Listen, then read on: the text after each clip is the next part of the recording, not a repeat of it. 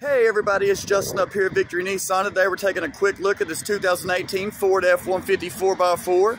It's got the famous 5.0 V8 in it, under 33,000 miles, so still a whole lot of life left in this bad boy.